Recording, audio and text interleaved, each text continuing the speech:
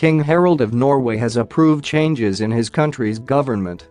It follows a recent announcement by the government that it is changing from a three-party to a majority four-party administration. The politicians met at the royal palace in Oslo on Tuesday to receive the approval of King Harald to form a new government in an extraordinary council of state.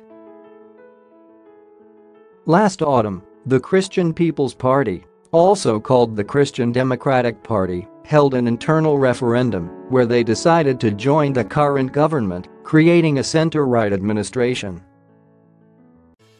Since January 2, 2019, the Conservative Party, the Progress Party, the Liberal Party and Christian People's Party have been in negotiations.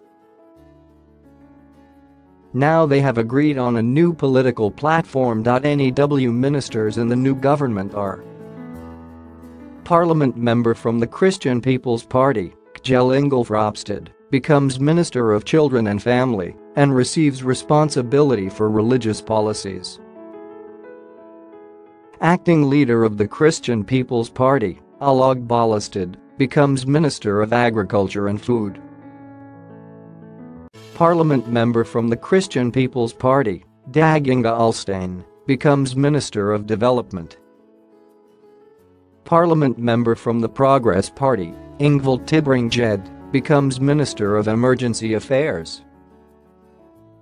Nikolai Astrup, from the Conservative Party, leaves his position as Minister of Development to become the new Minister of Digitization. Minister of Culture, Trine Skei Grande, from the Liberal Party also receives responsibility for gender equality. Justice, Emergency, Preparedness and Immigration Minister, Tor Mikkel Wara, loses responsibility for emergency preparedness and gets the title of Justice and Immigration Minister.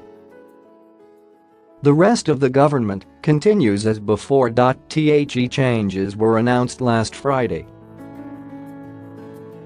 The four parties had been struggling to agree on the new government's policy on several issues including refugees, alcohol and abortion. However, they have now reached agreement following compromises. It was expected that Crown Prince Haakon Magnus would also attend the Council of State. However, he missed the event as he is traveling to Switzerland, where he will attend the World Economic Forum in Davos. The Council of State in Norway is a formal body composed of the most senior government ministers chosen by the Prime Minister, and it functions as the collective decision-making organ constituting the executive branch of the Kingdom of Norway.